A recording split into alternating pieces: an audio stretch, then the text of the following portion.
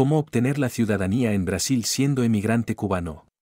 Para obtener la ciudadanía brasileña como emigrante cubano, hay algunos requisitos y procesos que se deben cumplir. Aquí te menciono algunos de los pasos que un emigrante cubano debería seguir. Permanencia legal en Brasil. Primero, el emigrante cubano debe estar viviendo legalmente en Brasil. Esto significa que deberá haber obtenido un permiso de residencia en el país y cumplir con los requisitos necesarios para mantener este estatus migratorio. Tiempo de residencia. Una vez que se tenga la residencia legal, el emigrante cubano deberá residir en Brasil durante al menos cuatro años consecutivos.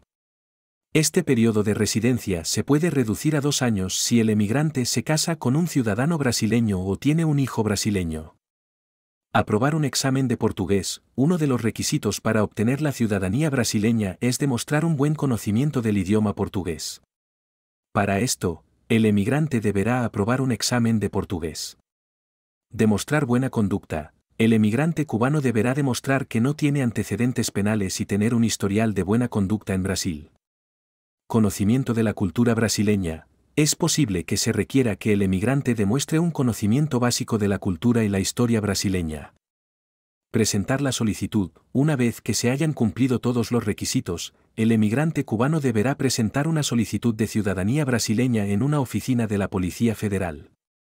Es importante tener en cuenta que los requisitos y el proceso para obtener la ciudadanía brasileña pueden variar y están sujetos a cambios en cualquier momento.